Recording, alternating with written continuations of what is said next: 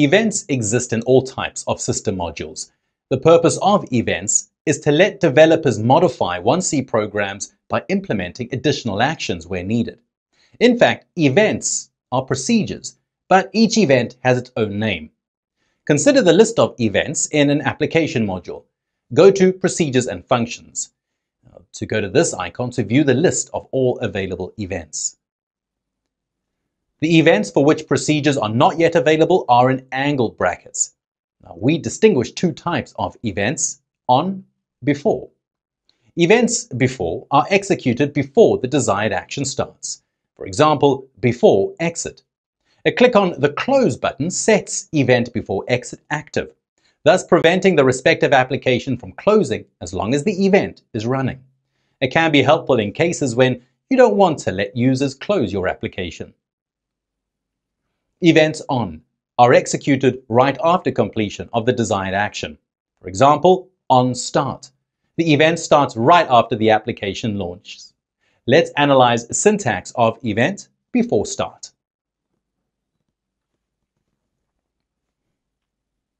Procedure before start, cancel. Insert handler content.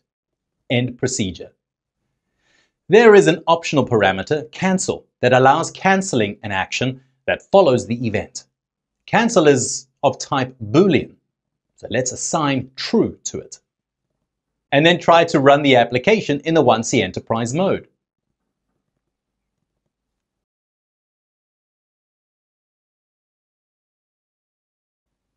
Nothing happens. We have cancelled the start of the application.